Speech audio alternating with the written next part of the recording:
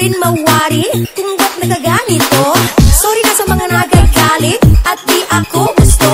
Gusto ko lang naman umawit At mapasaya kayo Sa pamamagitan ng musika na Nakapagbibigay ng tuwa